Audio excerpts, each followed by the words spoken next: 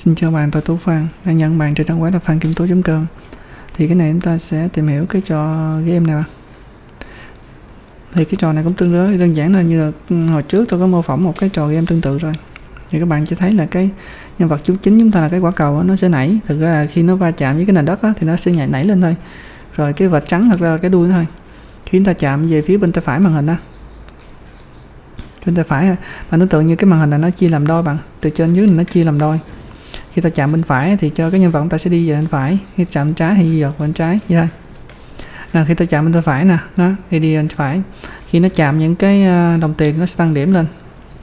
Và sẵn nay ta nói luôn, cái dụ điểm bằng điểm là hiện tại con số thì không nói gì rồi, chúng ta sẽ sử dụng thêm cái hàm if point là thôi. Nghĩa là cộng thêm điểm thêm cái nốt đó còn cái đồng tiền CC sao bạn?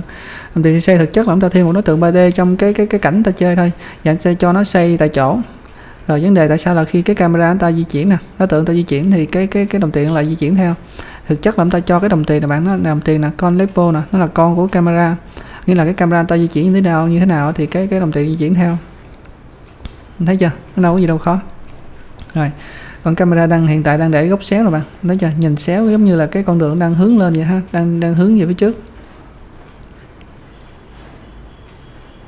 Đó, vậy thôi rồi, đó là giải thích rồi ha. Giờ ta sẽ chơi thử nè. Khi ta đụng đến những cái vạch đen thì chúng ta sẽ bị vỡ thành từng mảnh vụn đã khá là thua đó. Còn những đồng tiền này ngoại trừ nó xây, nó còn có cái việc cho nổi bạn. Nó nghĩa là nó lên xuống á. Nó lên xuống như thế này nè. Thì chút ta coi con ta làm bằng cái cái nốt nào ha. Rồi, tránh những cái ờ, màu đen bạn. Thấy lưu ý là phải nhấn bên tay phải ha. Cái này nó hơi thao tác hơi khó một tí. Phải chạm bên tay phải á.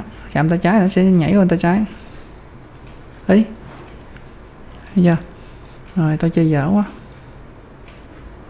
Rồi này nó dễ nè.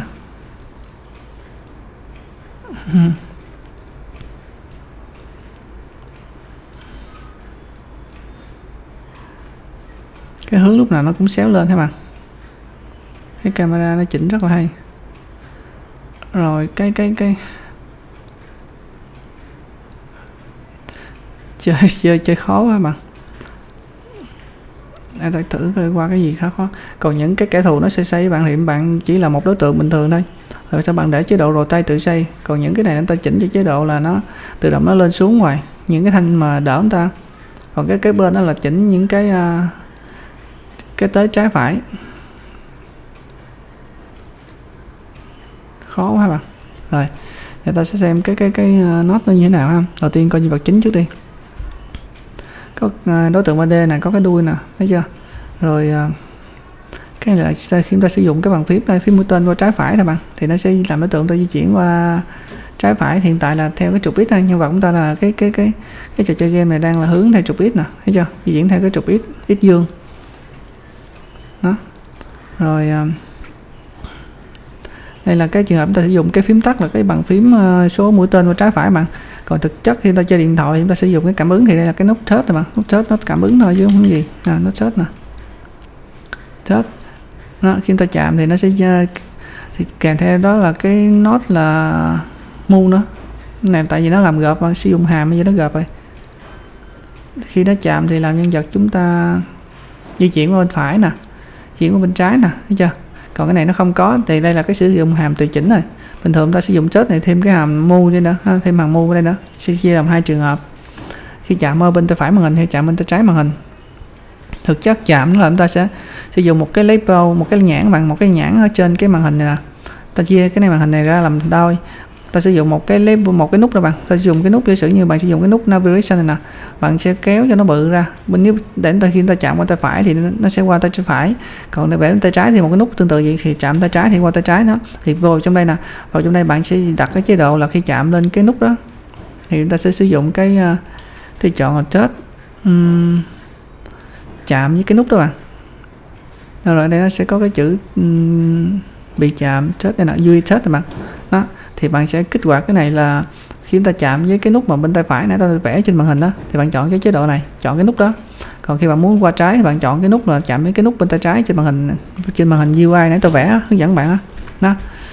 rồi ok dễ ha. Rồi di chuyển xong rồi còn bạn thấy nó nhảy tại chỗ là do cái nút này khi nó chạm với cái nền đất á cái platform nền đất này thì nó sẽ tự động nhảy nhảy theo cái trục y lên 18 rồi khi nó chạm với kẻ thù thì nó sẽ bị tiêu diệt nó sẽ bị vỡ thành từng mảnh vụn sau đó nó sẽ kích hoạt cái chế độ là game over trong thời gian khoảng uh, uh, một giây nó gì thôi dễ mà. Rồi ta tới những cái khác thôi. Cái đồng tiền nè thấy chưa là cái tôi nói các bạn nó sẽ tự động nó sẽ xoay tại chỗ đó chính là cái con lepo nè. Nó con lepo này tự động xoay tại chỗ cái đồng tiền mà khi chúng ta chơi á nó nằm ở góc trên cùng tay trái là hiện hiện cho điểm số nè. Nó đồng tiền tự động xoay nè. Là cái con lepo này rồi còn những cái những cái kẻ thù thì bạn cứ đứng tự nhiên tự tự nhiên đứng tại chỗ nó sai thôi bạn. Khi chúng ta va chạm thì chúng ta thua ta không có thay đổi gì hết. Còn có cái số đối tượng nó di chuyển thì nó sẽ là cái gì ta? Đồng tiền thì nó sẽ xây tại chỗ. Đồng tiền này nó trôi nổi lên xuống gì là nè đồng tiền này tự động trôi nổi lên xuống thì ta coi cái gì các bạn? Nếu đồng tiền nếu nó va chạm với chúng ta va chạm với vật chính đó, thì nó sẽ bị remove là xóa và điểm số sẽ tăng lên là một. Một uhm, còn đây là gì? Chế độ nó tự chuyển động gì đây nó tự xây á. À, à, đây là cái tốc độ đúng không? Ờ, XYZ cái tốc độ nó thì bạn muốn cái đồng tiền chúng ta đâu tiêu rồi. Công tiền chúng ta sẽ có hai cái một là nó xây hai là nó sẽ trôi nổi lên xuống mà. Nó thì cái đó bạn dùng uh, làm gì ta? Đây ta có chỉ có hai cái đồng tiền thôi đúng không? Thì các bạn ờ, thật ra đây nó sử dụng cái hàm rồi. Thì bạn có thể dùng ờ, một là các bạn cho nó xoay tự xoay tại chỗ dùng cái rotate bằng dùng cái rotate cho tự xoay tại chỗ thôi. Còn hai nè rồi tự xoay tại chỗ liên tục. Còn cái thứ hai là cho nó cho nổi lên xuống cho lên xuống thì bạn phải sử dụng cái um, có hai cách. Một là bạn dùng cái animation hay là bạn dùng cái uh, cái quay cũng được. Animation là bạn dùng cái này nè. Đối tượng ta sẽ tự động chuyển động lên xuống đâu rồi thay đổi vị trí nè lên xuống bằng cho cái này với một cái nữa ở phía trên. Kết thúc của cái này là đầu ở kia. Nó thì nó sẽ chuyển thay đổi vị trí theo trục y bằng y ví dụ y là hai dưới đây bằng cho nó y nó trừ hai. Nó cứ thay đổi lên xuống hoài đó. Nó một một cách còn hai là bạn dùng cái cách là chữ quay. Trong đây nó sẽ có cái nốt quay làm cho đối tượng ta dạng chuyển động theo gợn sóng á. Thì bạn chỉnh theo nó quay theo cái hướng nào ví dụ tôi muốn quay theo cái hướng uh, y nè. Đó thì bạn cho nó, nó theo hướng y.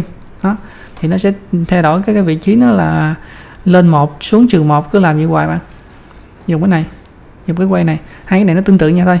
Một là bạn sử dụng hai cái này với này. Một là bạn dùng cái thằng này thì hai cái nó phải liên kết chéo như này. Hai là bạn dùng cái quay này dùng một nốt một thôi. Thì cái này kết hợp với enable vậy thôi. Ok dễ ha. Đâu có gì đâu khó. Còn cái này thì bạn còn cái điểm đầu tiên này thì bạn phải kết hợp với cái này. Đấy, nó ban đầu nó sẽ kích hoạt ha kích hoạt cái vị trí chuyển động này. Thường ờ, uh, rồi gì đó. Giờ xong rồi. Đây là có hai cách hai cách làm cho đồng tiền ta chuyển động. Đồng tiền ta chuyển động lên xuống. Rồi rất là dễ. Còn gì nữa ta? Những cái nào quan trọng uh, tìm hiểu cái, cái cái cách nó làm thôi bạn. Còn cái cái việc mà định cái vị trí hay là bối cảnh này thì bạn tự làm dễ thôi. Tự thêm những cái này trên trên cái bối cảnh ta làm nè. Xem tới video này các bạn rất rành như chuyện này rồi ta chỉ sắp xếp vị trí thứ tự hiển thị thôi còn quan trọng là các bạn học á khi mà làm rành rồi bạn phải chỉ cần nhìn qua sơ qua cái nốt thôi. Cái quan trọng nhất là cái nốt tại sao làm được gì giống như là cái những bạn nào mà chuyên về bên lập trình á sẽ hay nói dùng cái từ là thuật thuật toán á. Thì cái quan trọng là cái thuật toán này nó, nó nó làm cho nó ok nó tốt nó hay nó như thế nào á thì nó quan trọng của trò chơi là chỗ này thôi. Còn những cái này người ta thêm những cái phụ phụ người ta thêm cho có thôi. Đụng cái đồng tiền thì nó sẽ biến mất ăn điểm rồi đó rồi đụng kẻ thù rồi nó sẽ bể vỡ. Nó những đó là những phụ thôi. Rồi ok ha trò chơi này nó chỉ có nhiêu thôi không có gì thêm nữa. Không gì phức tạp hết. Ok. Như tôi đã chơi nhiều đúng cái cảnh này đi thì đây nó có chế độ là solo mode mà. À, solo mode bằng là solo mode cũng được còn không thì bạn chọn này. Bạn lít kêu cái nút cái bên à. Nút play này là chơi từ đầu còn cái nút này là chơi đúng cái nốt ta đang chọn. Này. Bây giờ tôi đang chọn đúng cái cửa này thì nó sẽ đúng cái cửa này. Nó. Cái cửa này à cái màn hình tôi đang hơi nhỏ là tôi đang để chế độ Full HD bằng cho tỉnh chế độ lớn nhất nè.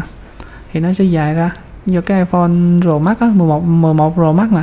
Nó thông minh lắm, nó hiển thị theo cái cái cái dòng máy như là Full HD iPad, iPhone iPhone SE, iPhone 8 iPhone 8 Plus, iPhone 11 iPhone 11 Pro Max đây. Màn hình nó dài dài thòn luôn, đúng không? Nó định cái tỷ lệ á. Đây là cái cửa. Bây giờ đó. Ok ha tôi kết thúc cái này thôi tôi là tú phan đã nhận các bạn trên trang web là phan kim tú com. Hẹn lại các bạn.